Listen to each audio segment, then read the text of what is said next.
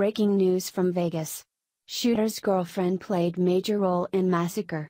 Details released. Although there is still no concrete reason for the Las Vegas concert massacre, reports are now saying that the girlfriend of the shooter actually told authorities that they would likely find her fingerprints on some of Stephen Paddock's bullets, firearms, and magazines because she sometimes assisted him in loading ammunition into the magazines. The newly revealed documents do confirm though that Paddock had exchanged emails about buying rifles and bump stocks many months before he carried out the deadliest mass shooting in modern American history. Paddock reportedly used guns equipped with a device, which according to the left-stream media allows semi-automatic weapons to fire almost as quickly as automatic ones, but in reality, all it does is cushion the kickback the bullet produces as it fires. Paddock also exchanged multiple emails on buying long range scopes for his multiple weapons. The documents also confirm that FBI agents reportedly knew that Paddock had left behind big caches of guns, ammunition, and explosives for which they sought warrants to search his properties and online accounts.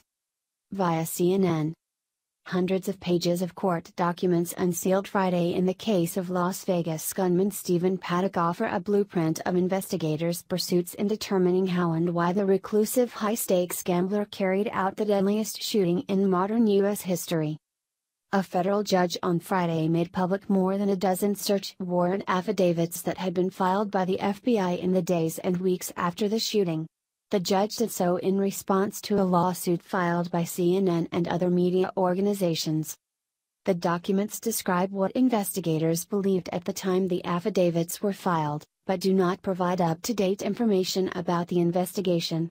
An FBI spokeswoman in Las Vegas declined comment on the documents on Friday evening. The Las Vegas Metropolitan Police Department did not respond to calls seeking comment.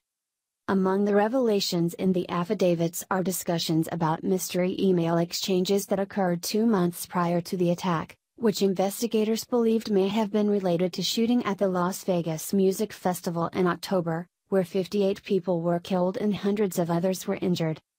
Try an R before you buy. We have huge selection. Located in the Las Vegas area, read one message sent to an account investigators believe was controlled by Paddock the documents state.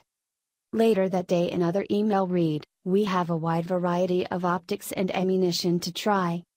A third read, For a thrill try out bump firearms with 100 round magazine. Investigators at the time of the filing had been unable to determine if Paddock was sending emails between two accounts both belonging to himself, or was communicating with someone else.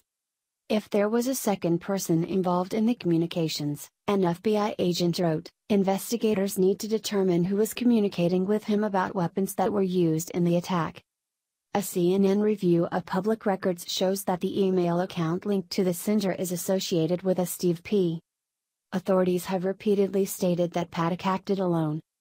Las Vegas killer had money troubles prior to attack, but motive still unclear, sheriff says. The documents also noted that Paddock's girlfriend, Marilou Danley, told investigators that her fingerprints would likely be found on Paddock's ammunition, but she adamantly denied any advance knowledge of the attack, according to the court records. Danley offered this information as investigators were preparing to take a DNA swab from her, the records state. She told investigators her prints would likely be on the ammunition because she occasionally participated in loading magazines.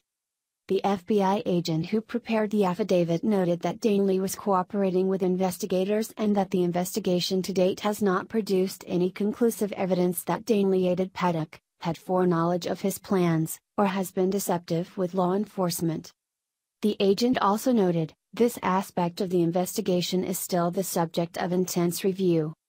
Hotel staff interacted with Las Vegas shooter more than 10 times before massacre.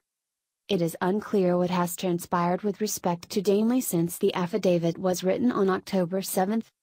Danley's attorney did not respond to a call or text seeking comment on Friday evening.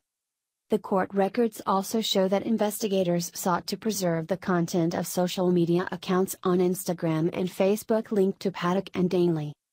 An affidavit notes that Danley's Facebook account was deleted hours after the attack. One affidavit filed in the early days of the investigation made a reference to the gunman's health. The investigation has also revealed that Paddock may have been treated for yet unidentified medical conditions, an agent wrote. CNN reported in October that Paddock testified in a deposition that he occasionally suffered from anxiousness, for which he was prescribed Valium. This confirms Paddock's actions were planned months in advance, and that doesn't fit the narrative the media is trying to tell us that he was mentally disturbed. The large majority of crimes committed by the mentally disturbed are crimes of reaction. Where they don't plan meticulously for months as to how they will carry it out. Only a sociopath would, but if that would be the case, he wouldn't have been able to make it well into his 60s without having any issues whatsoever with the law. This whole narrative just makes less and less sense. Paddock was very well off financially, had a decent life, and was never thought of as a problem by anyone who knew him. Either this crime was better thought out than we can imagine, or authorities are keeping something from us. Please share if you want to get to the bottom of this crime. This crime